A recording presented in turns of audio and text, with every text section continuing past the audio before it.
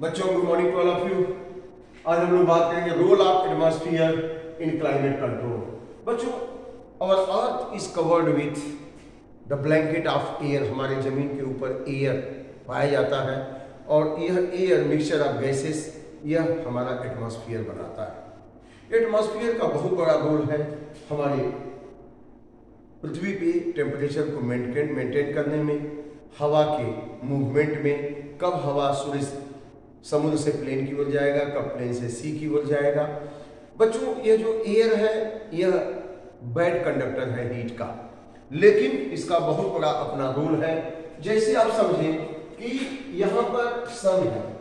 यह सन सन से टेम्परेचर अलग दिन में आ रहा है। डे टाइम में लाइट आ रही है। क्या आ रही है? ये लाइट तो लाइट के अंदर क्या है? फोटान एनर्जी है। एक फोटान एनर्जी आ रही है, खूब आ रही है। और यहाँ पे क्या है? समझ कर लिए समुद्र है। और यहाँ पे प्लेन है। तो यहाँ सी है। सी में क्या होगा? सी में वाटर होगा। और यहाँ पे क्या है? प्लेन एरिया है। ये अर्थ सरफेस है।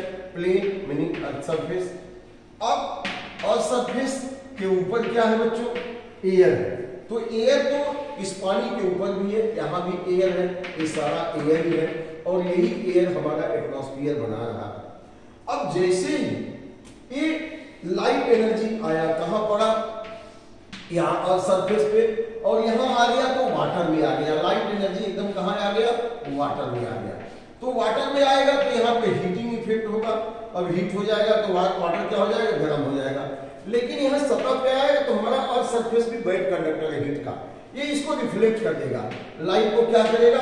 रिफ्लेक्ट करेगा। इसकी एनर्जी लाइट एनर्जी फोटान जो सनलाइट सन की रेज है, वो रिफ्लेक्ट हो गई। और जब रिफ्लेक्ट हो गई, या लाइट रिफ्लेक्ट हुई तो उसमें जो एनर्जी है, इसमें ऊपर से एयर जैसे कार्बन डाइऑक्साइड है और तमाम सारी गैसेस है, उनकी वजह से यहाँ एब्जर्व हो गया और हीट एब्जर्व हो गई। तो हमारे एटमॉस्फियर का, ये जो एटमॉस्फियर है, उसका टेम्परेचर मेंटेन हो जाता है। इसीलिए दिन में टेम्परेचर गर्म होता है, ज़्यादा, लेकिन रात में चूँकि ये हीट रेडिएट कर देते हैं, इस वजह से थोड़ा कूल हो जाता है। लेकिन समुद्र में क्या है कि यहाँ पर जो हीट आ गई तो पानी में हीटिंग इफ़ेक्ट हुआ, यहाँ तो कूल होगा। लेकिन ये हीटिंग इफ़ेक्ट हुआ तो क्या होगा बच्चों? पानी तो गर्म है तो दिन में यहाँ कूल रहेगा, लेकिन ये गर्म हो गया। लेकिन रात में ये ठंडा हो गया, लेकिन ये गर्म हो क्योंकि ये पानी जो गर्म है, ये हीट को रेडिएट करता है, और यहाँ का एयर गर्म हो जाता है। तो इस तरह से ये मेंटेन करते हैं टेम्परेचर को। अब देखते हैं कि मूवमेंट ऑफ़ एयर कैसे होता है। मूवमेंट ऑफ़ एयर कहाँ से कहाँ होता है?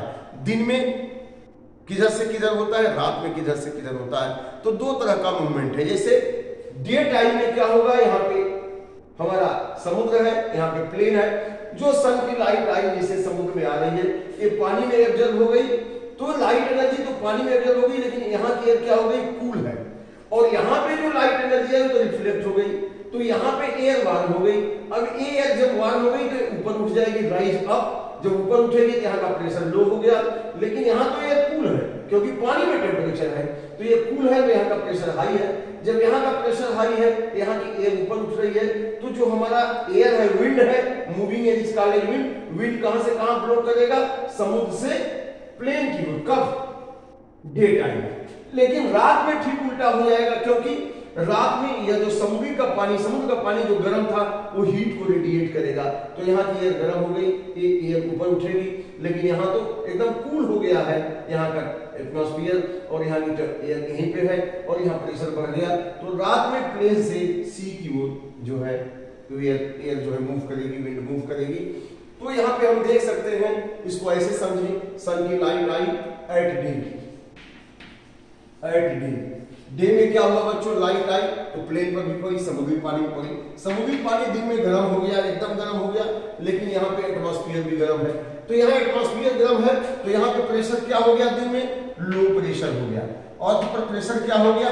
लो हो गया, क्योंकि air rises up air rises up air ऊपर उठ गई तो यहाँ पे प्रेशर क्या हो गया? लो लेकिन यहाँ पर पानी गर्म है, लेकिन एयर कूल है। यहाँ की एयर क्या है? कूल है। एयर कूल है तो यहाँ प्रेशर हाई है। यहाँ पे प्रेशर क्या हो गया?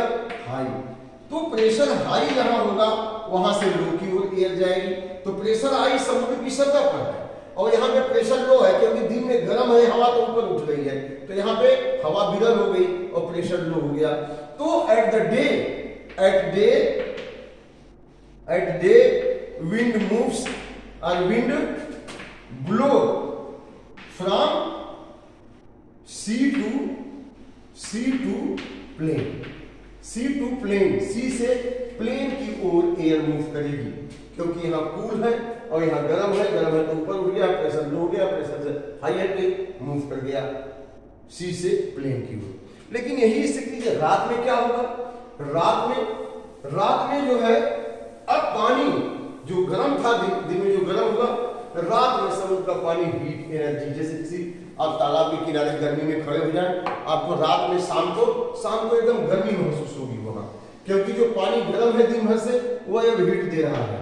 तो यह प्लेन सरफेस है अर्थ का प्लेन सरफेस है और यहाँ पे अर्थ का और यह क्या बच्चों सी का वाटर है वाटर है। अब एट नाइट क्या होगा? उल्टा ठीक डे में तो आपने देखा, अब एट नाइट रात में किधर से किधर जाएगी? अब दिन में जो सनलाइट आई थी, उसकी वजह से अब यहाँ पे रिफ्लेक्ट हो गया। अब यहाँ नाइट में क्या होगा? नाइट में यहाँ पर प्लेन पे क्या हो गया? कूल एयर जब एयर कूल हो जाएगा तो सारी एयर यही रहेगी तो प्रेशर क्या हो जाएगा? एटमोस्फेरिक प्रेशर बहुत हाई रहेगा यहाँ किसकी अपेक्षा? समुद्र तल की अपेक्षा। लेकिन रात में यहाँ जो दिन में पानी गर्म हुआ था, यह समुद्र पानी से हीट को रेडिएट करेगा।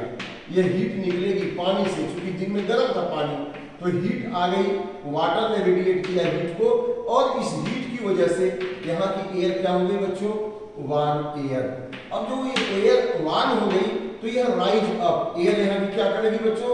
राइजेस अप जब एयर ऊपर उठेगी तो यहाँ पे प्रेशर क्या हो जाएगा? यहाँ पे हीट से एयर ऊपर उठेगी वार्म एयर हो गई तो यहाँ पर प्रेशर क्या हो जाएगा? प्रेशर पानी की सतह के ऊपर समुद्र की तरफ़ लो हो जाएगा। तो रात में समुद्र की सतह पर प्रेशर लो हो जाता है, क्योंकि समुद्री पानी जो दिन में गर्म था, वो हीट रेडिएट कर रहा है एयर ऊपर उठ रही है तो लो हो गया। लेकिन यहाँ ज़मीन की सतह पर कूल एयर है हाई प्रेशर है तो air will move from plain to plain to sea क्या wind will blow wind blow wind blow from plain to sea कब एट नाइट तो दिन में दिन में विंड कहाँ से ग्रो करेगा? सी टू प्लेन और यहाँ पे रात में plain to sea wind will blow so this is all about the movement of air during day and night and role of atmosphere in climatic control thank you very much